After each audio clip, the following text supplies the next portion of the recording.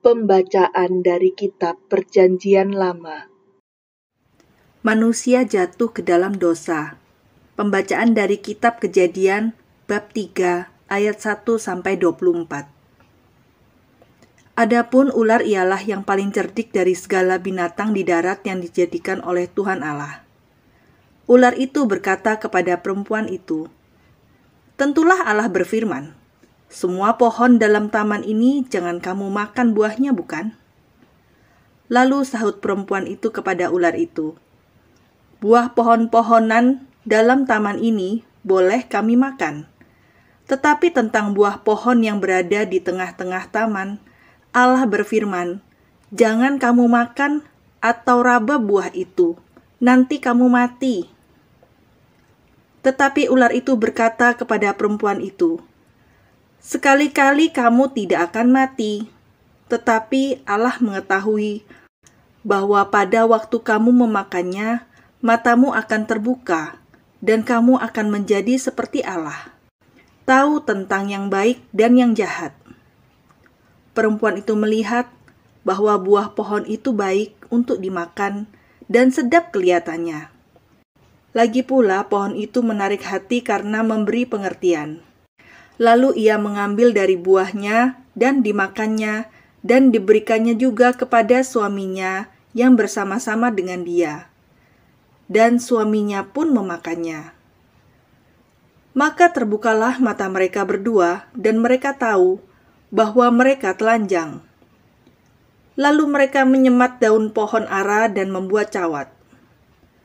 Ketika mereka mendengar bunyi langkah Tuhan Allah yang berjalan-jalan dalam taman itu, pada waktu hari sejuk, bersembunyilah manusia dan istrinya itu terhadap Tuhan Allah di antara pohon-pohonan dalam taman. Tetapi Tuhan Allah memanggil manusia itu dan berfirman kepadanya, "Di manakah engkau?" Ia menjawab, "Ketika aku mendengar bahwa engkau ada dalam taman ini, aku menjadi takut karena aku telanjang. Sebab itu aku bersembunyi.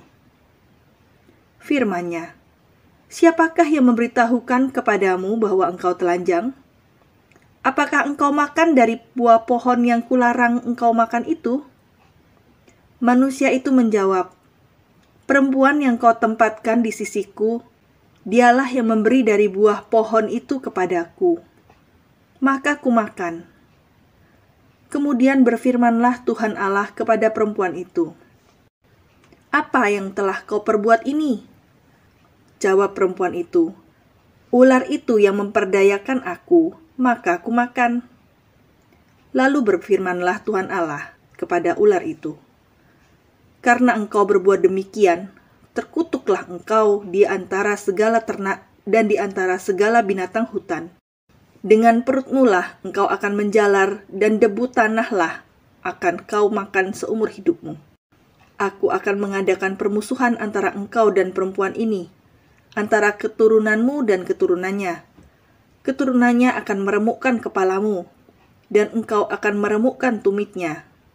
Firmannya kepada perempuan itu, Susah payahmu waktu mengandung akan kubuat sangat banyak dengan kesakitan engkau akan melahirkan anakmu. Namun engkau akan berahi kepada suamimu, dan ia akan berkuasa atasmu. Lalu firmannya kepada manusia itu, Karena engkau mendengarkan perkataan istrimu dan memakan dari buah pohon yang telah kuperintahkan kepadamu, jangan makan daripadanya, maka terkutuklah tanah karena engkau dengan bersusah payah engkau akan mencari rezekimu dari tanah seumur hidupmu.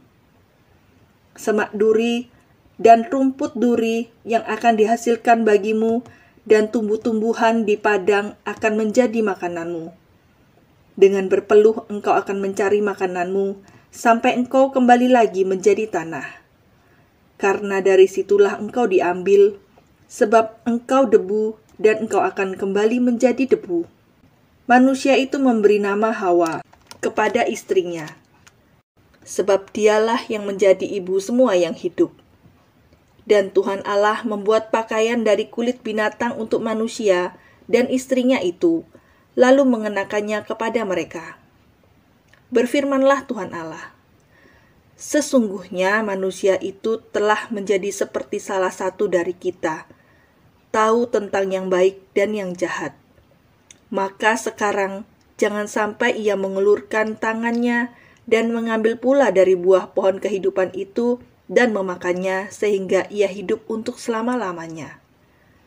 Lalu Tuhan Allah mengusir dia dari Taman Eden supaya ia mengusahakan tanah dari mana ia diambil, ia menghalau manusia itu, dan di sebelah timur Taman Eden ditempatkannya lah beberapa kerub dengan pedang yang bernyala-nyala dan menyambar-nyambar untuk menjaga jalan ke pohon kehidupan.